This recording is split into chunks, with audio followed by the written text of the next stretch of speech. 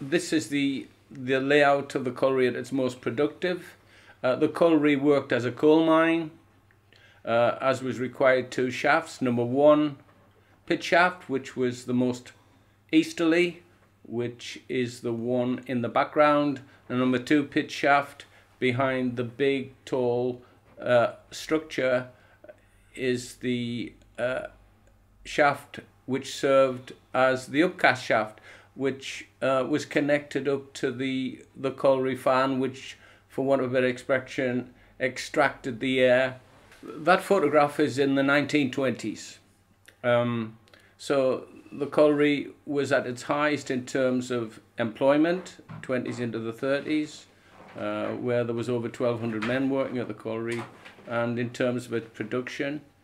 Um, the fixtures that were there from start to finish uh, are obviously the the pit chimney and number one shaft which didn't finish up like that and number two shaft which is the nearest one with the, the big structure the big building in front of it. Um, the important thing is apart from producing coal the colliery produced its own electricity. And if you look carefully um, you've got a, a three-phase supply of electric cables coming out from the powerhouse which is the the fort-like structure with the crenellations around the top where the the the big compressors for the colliery and the generators were. It produced electricity that went to the houses that were built in the uh, late or early 20s uh, the name streets the seven streets and then there was a supply across to the the houses that were part of the original colliery village built in the 1860s 1870s um, notice to the right hand side of the photograph, it, it's all open countryside. Um, the other thing to notice is the number of railway sidings that there were in terms of feeding the the trucks who went underneath the headgear. Now the headgear and the heapstead is the, the buildings that project out from what is the, the winder house there. That's where the coal came out of the colliery, was tipped out of the, the tubs and was then sorted and graded. And at that time, they produced a lot of different types of coal at Wheatley Hill. They produced good quality coking and gas coal, house coal, and general purpose furnace coal. All that was segregated, put into different wagons, and was marketed from that point. At the same time, you've got to realise there was a lot of waste produced as a result of mining in terms of rock, stone, and, and rubbish coal, whatever you want to call it, and that had to be processed as well. Um, so that came to the surface in exactly the same way as the coal did. Uh, it was put into wagons like that, and at the time that this photograph was working, that waste was shunted away with a loco, a little steam loco, and it went across to the waste heaps that our generation will remember the big waste heaps between Wheatley Hill and Thornley, which were over to the northwest of the colliery. And they were shuttled away by uh, loco and in big 15 ton wagons to be piled up over the years. Um, the open aspect, I'll come back to that one um, in terms of the south view, which is the right hand side of, of the smokestack, the pit chimney. Uh, so all in all, that was the layout of the colliery as we knew it at its most productive. Obviously, our generation never saw it like that. But I just want to mention one thing, course it'll crop up a few times. Number one pit, which is the uh, the headgear that you can see in the background, which appears to be smaller than the other one, is an interesting point. Its orientation when the colliery was first sunk in 1869, the way the framework was and where the, where the, the winding house was built was identical to number two pit. They both faced in terms of um, the direction east to west and they both had the A-frame, the, the shear legs that supported the the pull of the the cage rope uh, both face the same direction. It's interesting to say that the powerhouse, uh, uh, the structure itself, it's not just plain brickwork. They've gone to the bother of, of making it look like a fork. a fort, sorry, with the crenellations and the decorative brickwork around the top. And in my day, inside there was the remains of the um, the old generator, but the big uh, steam reserve air compressor and the big electric powered air compressor was still there in use. That's a that's a close-up view of the same part and it's interesting because on the right hand side you can still see the power supplies leading out behind that you can see what was the fan house and the incline up to it actually is the fan drift that went from the fan house down underneath the ground and uh, broke into number two pit shaft. So that created the suction for pulling the air throughout all the tunnels underground, through all the faces, uh, pulling the air. The air that was carrying um, basically the oxygen that's needed went down number one pit shaft. It circulated underground, and all this because of the difference in pressure created by the fan in the fan house.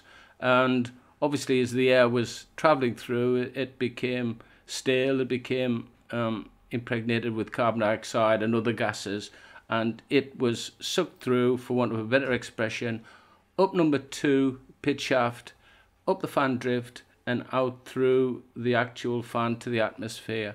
Um, but again, notice the angle, notice the orientation of number one pit because that's important. There's a view of the colliery at round about the same time. This view is looking from the east. It, basically, if you're walking from what we now know as Thornley Crossings into Wheatley Hill, that's the view of the colliery you would have seen in the 1920s. Nearest to you is actually number one pit in its original orientation. Um, the the pit headgear behind it, and again a close up and the view of the colliery that um, most people will recognise because that's the old pit bend at the top of Shop Street and Institute Street. The interesting thing is to look at number one pit shaft headgear now. It's totally different. It's being completely turned 180 degrees. The stress legs, the A-frame, is now on the east side of the shaft. And just poking over the top, you can just see the little cap that decorated the top of the number one pit winder house, which was a new winder that was installed basically in 1935. So that photograph that we've just looked at in comparison to the photograph we're looking at now shows that in 1935 there was a lot of work carried out to the surface of the colliery by the then coal owners. We're now looking at a video shot basically in the same direction as the last still photograph was and it also shows apart from the, the new winder house and the new headgear at number two it showed the new boiler house that was built at the same time uh, Wheatley Hill was always a steam colliery. Its motive power was steam. Um, looking down now, we get yet another view of the colliery. Now, this view of the colliery is the colliery of our generation. It happened in the early 1950s, late 40s, when they actually strengthened number two pit headgear. Now, this shows number one pit after it had changed. Again, this is the 1950s. The loco shed that was built to house the, the new diesel loco and the little steam loco.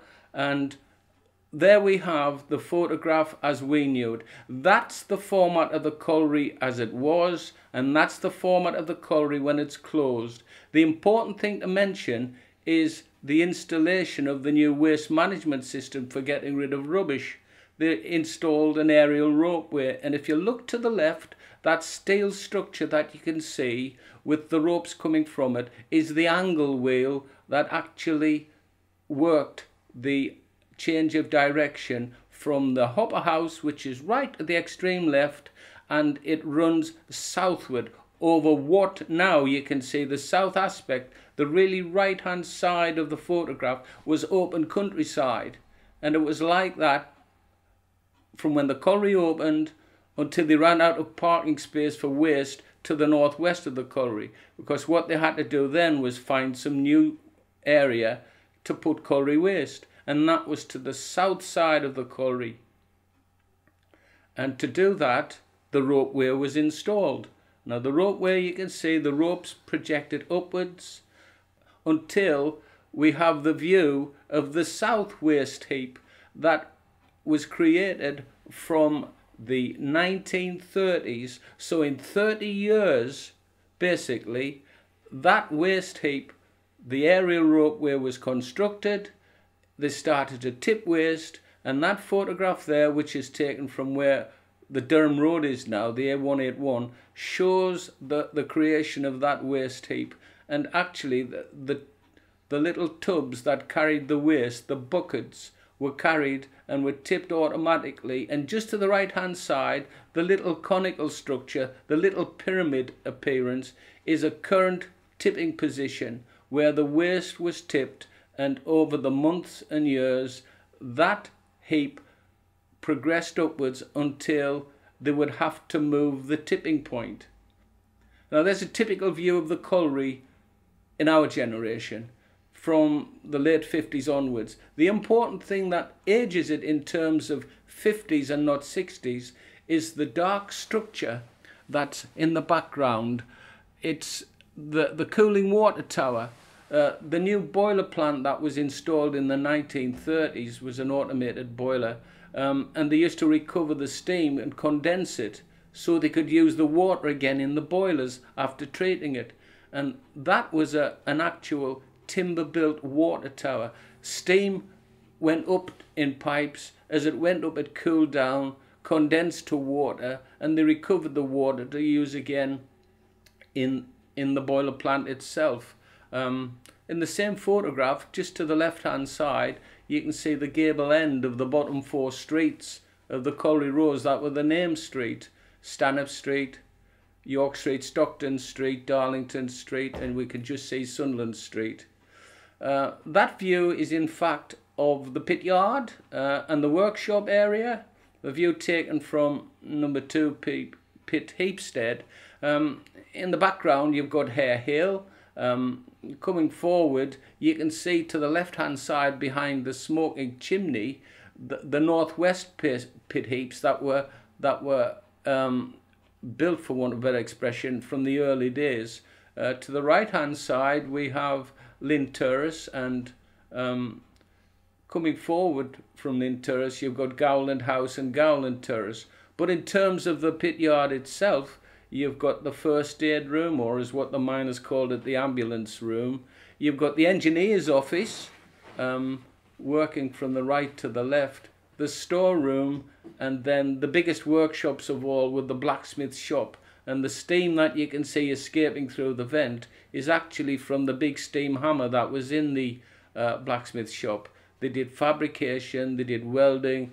This area here was the, the first aid room, the ambulance house, and it was manned in, in our generation by um, Chris Hardy, uh, the colliery engineer's office next to it, and the storeroom for what it was but the the real guts of it are the workshops. It's an L-shaped terrace, and by far the biggest uh, area is taken up by the blacksmith shops. Uh, and to me, the blacksmiths were uh, the creators. They did fabrication, welding, um, obvious forge work. They actually uh, had farriers employed there because Wheatley Hill Colliery, to the it closed, used pit ponies in large numbers for the way they mined the coal underground. And again, the farriers worked as part of the blacksmith shop. And they did heavy engineering as well, hence the heavy hammer that you can see the steam uh, venting from. In the corner was the fitting shop. Um, and obviously mechanical fitting took place there. That's where the machine tools were for manufacturing the equipment that would be needed because in a colliery like Wheatley Hill, if you needed a nut and bolt and it wasn't a regular size one, you had to make them yourselves. Um, it was all part of the learning process, that one. Um, next to the fitting shop and the the turn in the in the leg of the terrace. You had the joinery shop, and again, there was a lot of timber work done in the colliery, um, and there were a lot of joiners employed at the colliery. And just off camera, extreme left, is the electrician shop again. Um, the electricians had a lot of work to do because there was a lot of electricity used.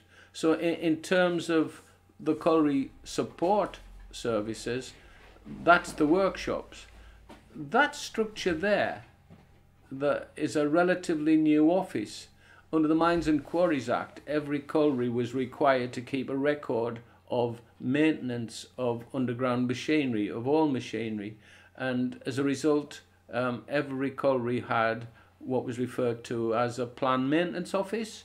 And that there, just the other side of the compound, was Wheatley Hill Plan Maintenance Office. There was a, a full-time clerical officer worked there. Uh, Alan Briley was the one that was in charge of the plan maintenance when uh, records when the colliery was um, working in the 60s. You've got a good view in the foreground there of the angle wheel for the aerial ropeway. You can see the ropes and the hopper where the, the buckets that were carrying the waste is off to the right hand side and in there was the, the drive the drive engine that worked the, the, the winch that pulled the ropes and the hopper control where the operative would um, fill fill the buckets with the waste and push them on the way and off they would go on the journey southwards to be tipped. The aerial ropeway was electrically driven. It was, um, as I say, it was constructed in the 1935 when the, there was a lot of investment went into the colliery. And we're going to a video shot here. Um, now this video shows part of the colliery that the general public never saw. It, it is in fact what was often referred to as behind the pit.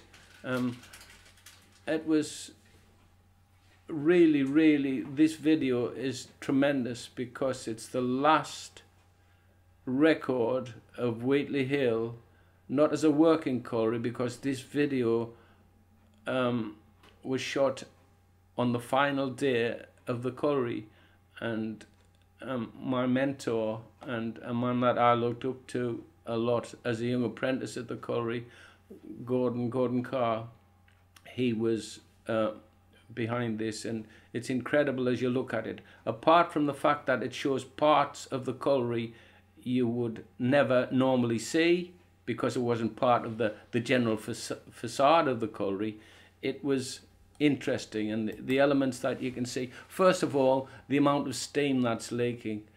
If the colliery was working the way it was working, there would be no leaking steam. The water tank that you can see there and that base foundation was where the, the cooling tower used to be. We're looking at the back side of number two winder there and if you look carefully there are no cage ropes. Normally you would see the ropes coming from the winding house up around the pulleys the pulleys to go down the shaft. There's no ropes there. Those ropes had been cut. It is really the last hours of the colliery. Um, the a, a, a paranormal, you're looking at the powerhouse, number two winder. There's the new fan drift and the, the vent. There's the new boiler house that they built in the 1935s with number one winding house behind it. Rather a bleak scene and rather a bleak scene to call with in terms of a really, real cold view of Wheatley Hill Colliery viewed from the east.